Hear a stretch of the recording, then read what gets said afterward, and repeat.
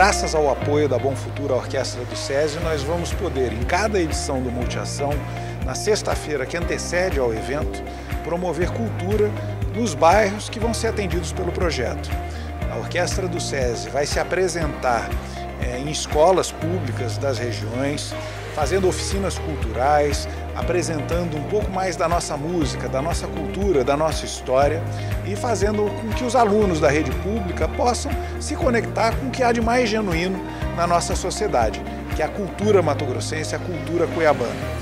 Obrigado a Bom Futuro por acreditar nesse projeto cultural do SESI e nós cremos que essa parceria vai render muitos frutos.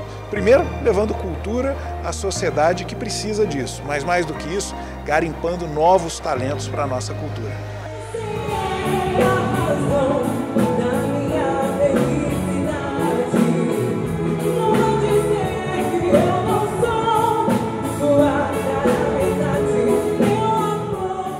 A, nossa orquestra existe há dois anos.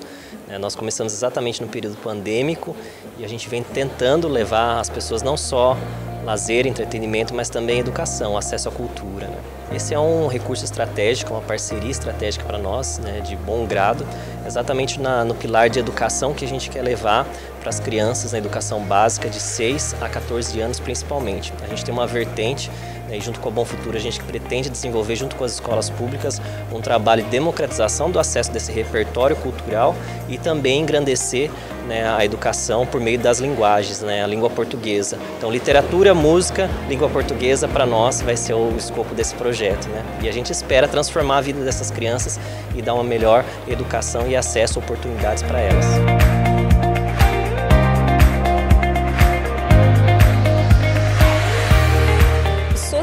Faz parte da família Bom Futuro, né?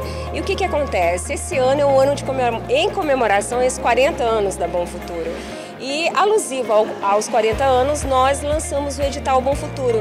E o edital Bom Futuro aportou para a sociedade 9 milhões e 300. E nesse valor nós tivemos então um aporte de 207 mil nosso para SESI, para o Sistema S. Para quê? Para que proporcionasse ação, arte, cultura, fomento, economia criativa na periferia de Cuiabá e das cidades aqui do entorno.